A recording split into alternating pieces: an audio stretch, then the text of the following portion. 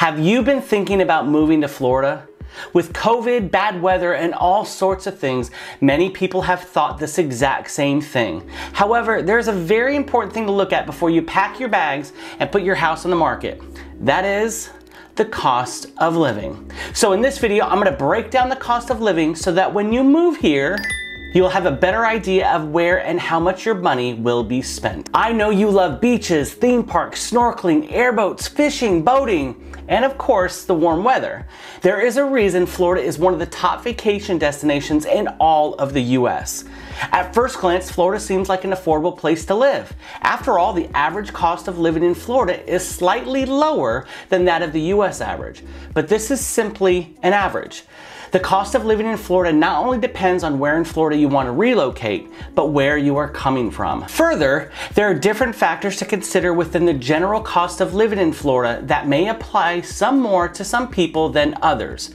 For example, items such as groceries, transportation, healthcare, and housing all should be considered. So, let's get into it. One of the things you likely have thought about if you want to move to Florida is the price of housing.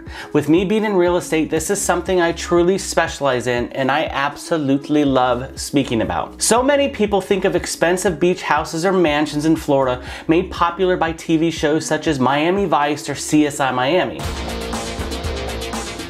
Now, we do have those here and I love those homes, but you'll be glad to know that Florida's median home cost is $237,000, while the national median is $231,000. So you'll only spend about 2% more on a home in Florida above the national median. Technically, houses are priced only slightly higher than the US average, but again, this depends on where you're moving from. If you're moving from such places such as New York or San Francisco, a home here is a deal. While such prices might discourage you from moving to Florida, you should keep in mind that prices also vary from one city to the next.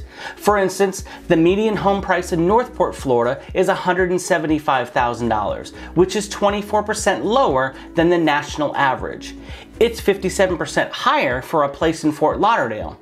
In Miami, you might expect to pay $454,000 for an average home, while Tampa offers similar homes for only $256,000. And in Orlando, it's slightly less with an average of $278,000. Where I live on the Treasure Coast of Florida here in Stuart, the median price for a home is around $450,000. For those of you who are not looking to buy a home but rent instead, even if it's just temporary, then you should also be aware of the average rental housing prices. In an expensive city such as Miami, the median apartment rental is around $2,200 per month. However, in Tampa, the average is only about $1,100. In Jacksonville, rental prices are quite similar, and Orlando's average apartment rental prices are slightly higher at $1,200. Once again, here in Stuart, Florida, the average apartment will cost you $1,500 monthly. While doing your research, remember flexibility will be your friend when it comes to comparing different towns.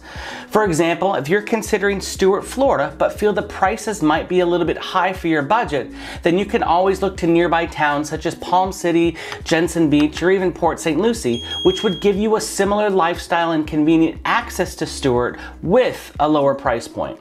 In fact, many of these towns I just mentioned offer better amenities than Stuart at a more affordable price.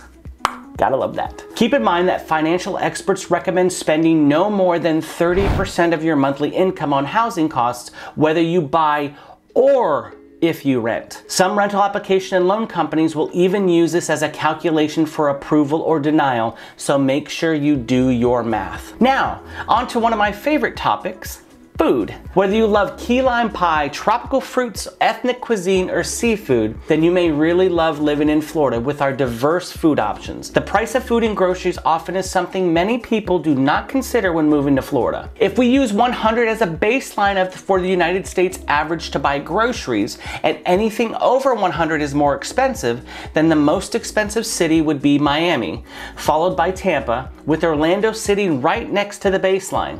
Here in the Stuart area where I I live, it's just below Tampa.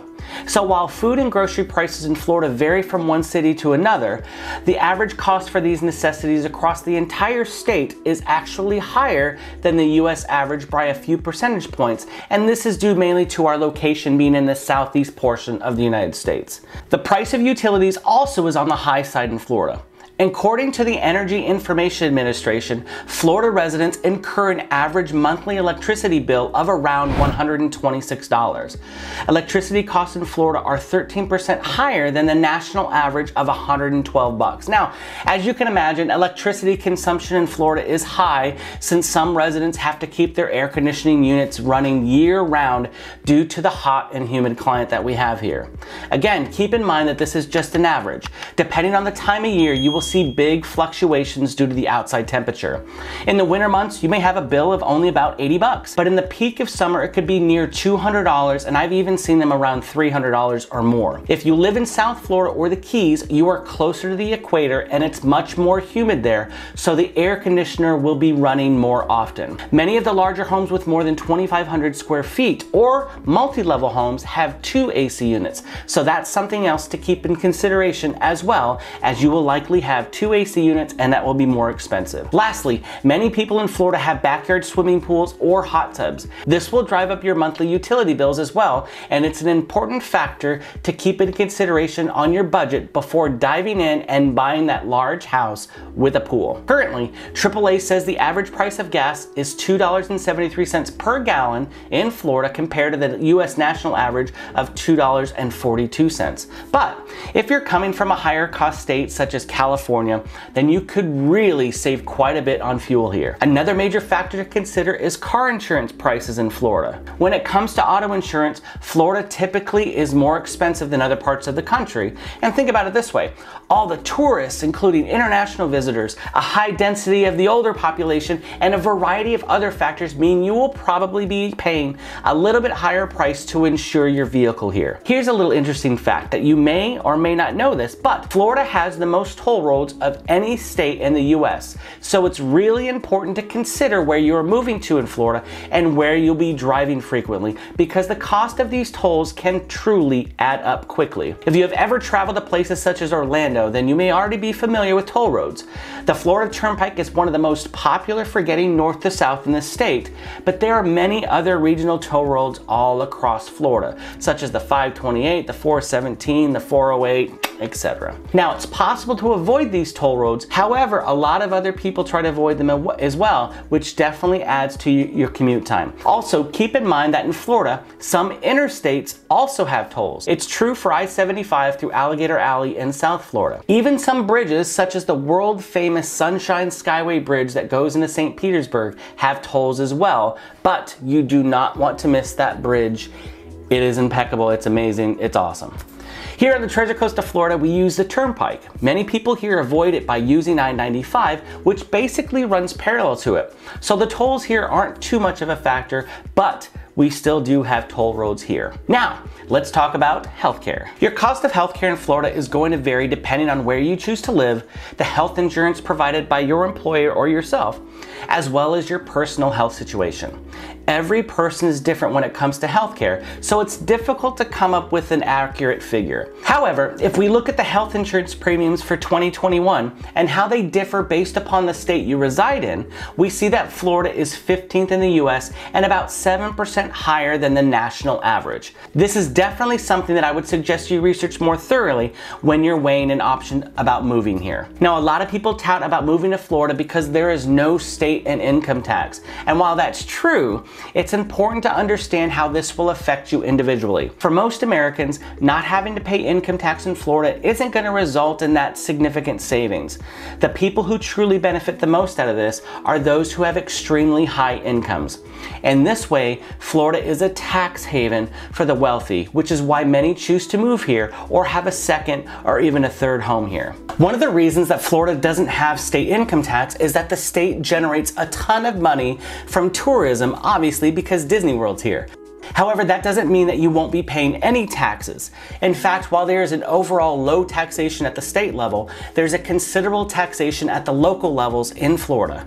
One of the first ways you'll discover this when moving here is the cost to register your vehicles. It can be shocking if you're not prepared for the fees and taxes. And in fact, I was completely shocked when I registered my vehicles here when I moved here from Colorado years ago. While property taxes in Florida may be slightly lower than the rest of the US, gasoline taxes are about 34 cents per gallon in Florida compared to 28 cents per gallon in Georgia. The sales tax rate in Florida is currently at 7.05%, which is higher than states such as Pennsylvania, Indiana, Michigan, and Maine, but lower than states such as New York, California, Arizona, and Tennessee.